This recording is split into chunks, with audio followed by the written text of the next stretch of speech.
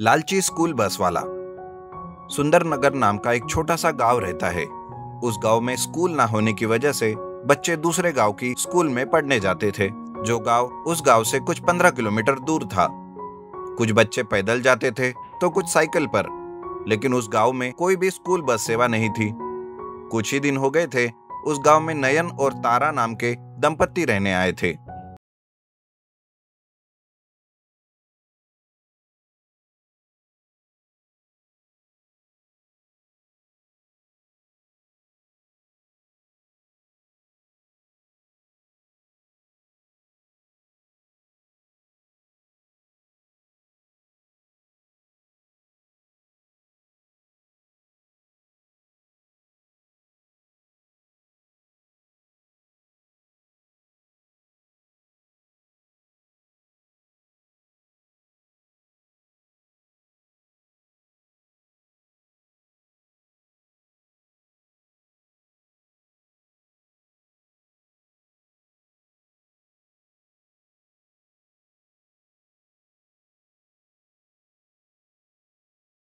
के लिए मैं शुरू कर रहा हूँ। ये बस आपके बच्चों को लेकर स्कूल जाएगी और वहाँ से वापस भी लेकर आएगी, जिसका खर्चा सिर्फ़ पाँच सौ रुपए महीना होगा। ये सुनकर गाँव वाले और बच्चे बहुत खुश हो जाते हैं। इस तरह से दूसरे दिन से ही गाँव के बच्चों को नयन अपनी बस में स्कूल छोड़ता है और उन्हें वापस भी लेकर आता है। इस तरह से नयन को अच्छे पैसे मिलने लगते हैं। एक बार उसकी पत्नी तारा कहती है, सुनिए जी आप बच्चों को स्कूल लेकर जाते हो और शाम को वापस लेकर आते हो लेकिन बीच के समय में आप क्या करते हो? अरे क्या करूँगा तारा? बस अपनी बस में सोता रहता हूँ। अरे लेकिन इतने समय तो आप दूसरा काम कर सकते हो ना जिनसे हमें और पैसे मिलेंगे। ये सुनकर नयन दूसरे दिन से बच्चों को स्कूल में छोड़ता और शाम तक उस दौरान दो गाँव के बीच वो बस चलाने लगता है। लेकिन ये शुरू करने के बाद वो कभी कभी स्कूल में शाम को लेट होने लगता है। जिस वजह से बच्चों को भी घर छोड़ने के लिए लेट होता था लेकिन इतने पर नयन रुकता नहीं। उसका लालच इतना बढ़ जाता है कि अब वो गाँव के बाहर ही बच्चों को बस से छोड़ता और चला जाने लगा था। ये देखकर एक बच्चा कहता है अरे क्या अंकल जी? अभी आप गाँव के बाहर ही हमें छोड़ देते हैं। पहले जैसे अंदर क्यों नहीं छोड़ते? अरे बेटा कभी पैदल भी चल लिया करो। इससे सेहत अच्छी रहती है। और वैसे भी जितने पैसे मैं तुमसे लेता हूँ उतने में तो यही तक छोड़ सकता हूँ। हम अपने माँ बाप को शिकायत करेंगे आपकी। हाँ हाँ कह दो। और ये भी कहना कि फ़ीस बढ़ाएँगे तभी घर तक छोड़ूँगा। इस तरह नयन दिन ब दिन लालची ही होता जा रहा था जिस वजह से गाँव वाले नयन के बर्ताव से परेशान हो रहे थे। और अब वे सब उसे सबक सिखाना चाहते थे जिसके लिए वो हेडमास्टर को जाकर सब बात बता देते हैं। उन्हें भी नयन की ये बात बिल्कुल अच्छी नहीं लगती। हेडमास्टर जी नयन को बुलाते हैं और कहते हैं सुनो नयन तुम्हारी आजकल बहुत शिकायत आ रही है कि तुम बच्चों को गाँव के बाहर ही छोड़ रहे हो। अगर ऐसा ही रहा तो मैं तुम्हें ये काम करने से रोक दूँगा और किसी दूसरे बस का इंतज़ाम करूँगा। नहीं नहीं सर मैं ऐसा कुछ नहीं कर रहा हूँ। मैंने बस का किराया बढ़ाया, इसलिए गाँव वालों ने मेरे खिलाफ ऐसे कहा है आपको। अरे, मैं तुम्हारे सारे किस्से सुन चुका हूँ, नयन। मैं तुम्हें वार्निंग दे रहा हूँ। अगर आज के बाद तुमने ठीक से काम नहीं किया तो मैं अपनी स्कूल की बस सेवा से निकाल दूँगा। यह सुनकर नयन वहाँ से चला जाता है। लेकिन वार्निंग लेने के बाद भी नयन सुधरता नहीं, और अपने बीवी के कहे मुताबिक ही वो लालच में दूसरे काम लेकर स्कूल के बच्चों को अनदेखा करता है। आखिर में, स्कूल के हेडमास्टर उसे बस के साथ उसकी सेवा को रद्द कर देते हैं, जिस वजह से उसके पास कोई काम नहीं बचता। उसके दूसरे काम से भी उसे कुछ खास कमाई नहीं होती, और वो कहता है, अरे, ये मैंने अपनी बीवी के चक्कर में आके क्या कर दिया? लालच में अच्छा खासा काम गवा बैठा, अब तो घर भी चलाना मुश्किल हो गया है। ये सोचकर नयन घर जाता है, और अपनी बीवी को ज़ोर का थप्पड़ मारकर फिर से गाँव वालों के पास जाता है और उनसे माफ़ी मांगकर हेडमास्टर जी से मिलता है और बड़ी ईमानदारी से अपनी स्कूल बस चलाकर लालच छोड़ देता है और अच्छे से जीवन बिताने लगता है।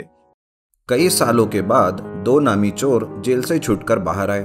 एक का नाम रंगा और दूसरे का नाम बिल्ला था। दोनों बाहर आकर बात करने लगे। रंगा बिल्ला से कहता है, बाहर तो निकल आए बिल्ला भाई। आगे का क्या प्लान है? कुछ सोचा है? सोच रहा हूँ वापस गाँव जाकर खेतों में हल चलाऊ। अरे क्या बिल्ला भाई, अब तो हल भी चलाना आसान नहीं रहा। पुलिस की इतनी मार खाई है कि बदन में ताकत ही नहीं बची। सच कहा रंगा, अब तुम ही बताओ क्या कर सकते हैं? देखो भाई बिल्ला, अब वही चोरी चकारी करके पकड़े जाना और पुलिस का मार खाने में कोई मतलब नहीं रहा। कुछ नया और फ्रेश सोचना पड़ेगा ताकि पकड़े ना जा सके। हम्म लेकिन ऐसा कैसे होगा? क्या ऐसा कोई धंधा हम कर सकते हैं? सुनो मेरा प्लान। आजकल लोग दुकानों में जाकर सामान नहीं खरीदते, बल्कि उसे मोबाइल और टीवी में एडवर्टाइजिंग देखकर ऑनलाइन खरीदते हैं। एक ऐसा गाँव ढूंढते हैं जहाँ किसी के घर में टीवी नहीं है। वहाँ पर टीवी लगाकर लोगों को ऑनलाइन सामान बुलाने का आदि कर देते हैं और इसी का फ़ायदा लेकर हम एक नया फ्रॉड का धंधा आराम से सेट कर सकते हैं। अरे वाह ये तो सही है। चलो तो फिर काम पर लग जाते हैं। रंगा और बिल्ला सब कुछ सेट करके एक जायंट टीवी लेकर दूर दराज के गाँव में जाते हैं और उस गाँव के चौराहे में उस टीवी को लगा देते हैं। लोग उस जायंट टीवी को देखकर हैरान हो जाते हैं। और उसे देखते ही रहते हैं। तभी रंगा एक टेबल पर खड़ा होकर कहने लगता है, भाइयों और बहनों, आप जो सामान देख रहे हैं, ये स्पेशल हमारी कंपनी ने तैयार किया हुआ जायंट टीवी पर दिखा रहे हैं, जो आप जैसे दूर दराज के गाँव में रहते हैं। आप देख सकते हैं कि कई सारी चीज़ें इस समय टीवी पर आपको दिख रही है, और उसके सामान के साथ साथ एक नंबर भी दिख रहा है। आपको बस एक ही चीज़ करनी है। जो चीज़ आपको चाहिए, उस नंबर पर बात करके बुक करना है। बस आपको वो कुछ ही वक्त में मिल जाएगी।